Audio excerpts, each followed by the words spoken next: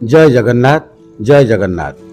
ବିଶ୍ୱ ବ୍ରହ୍ମାଣ୍ଡର ନାୟକ ଛପନ କୋଟି ଜୀବଜଗତର ଆର୍ତ୍ତତ୍ରାଣ ଭାବଗ୍ରାହୀ ଯାହାଙ୍କର ଅତି ପ୍ରିୟ ତୁଳସୀ।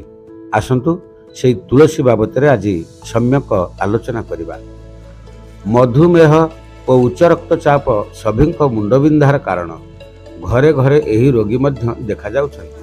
ତେବେ ଔଷଧ ସହ ରୋଷେଇ ଘରେ ଏପରି କିଛି ଜିନିଷ ରହିଛି ଯାହା ଏହି ରୋଗକୁ ଶରୀରଠାରୁ ଦୂରରେ ରଖିବା ସହ ଏହାକୁ ନିୟନ୍ତ୍ରଣରେ ମଧ୍ୟ ରଖିଥାଏ। ପ୍ରତ୍ୟେକଙ୍କ ଘରର ଅଗଣାରେ ତୁଳସୀ ବୃକ୍ଷ ଶୋଭା ପାଇଥାଏ। ଏହାର ଧାର୍ମିକ ସହ ଔଷଧୀୟ ଗୁଣ ମଧ୍ୟ ରହିଛି। ତୁଳସୀ ରକ୍ତରେ ଶର୍କରାର ମାତ୍ରାକୁ ନିୟନ୍ତ୍ରଣ କରି ରଖିବା ସହ ରକ୍ତଚାପ ଓ କୋଲେଷ୍ଟେରୋଲ ସ୍ତରକୁ ନିୟନ୍ତ୍ରଣରେ ରଖିଥାଏ। ତୁଳସୀର ସେବନ ଦ୍ୱାରା ମସ୍ତିଷ୍କ ସୁସ୍ଥ ରହିବା ସହ ମନ ଶାନ୍ତ ରହିଥାଏ। ମାନସିକ ଦୁଶ୍ଚିନ୍ତା ମଧ୍ୟ ଦୂର କରିଥାଏ। ଶିରା ପ୍ରଶିରାରେ ଥିବା ବିଭିନ୍ନ ସମସ୍ୟାକୁ ତୁଳସୀ ରସ ଠିକ୍ କରିଥାଏ।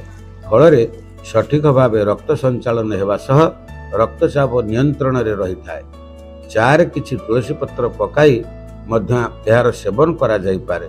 ଆସନ୍ତୁ ଆମେ ଆଜିଠାରୁ ତୁଳସୀ ସେବନରେ ଲାଗିପଡ଼ିବା। ଜୟ ଜଗନ୍ନାଥ।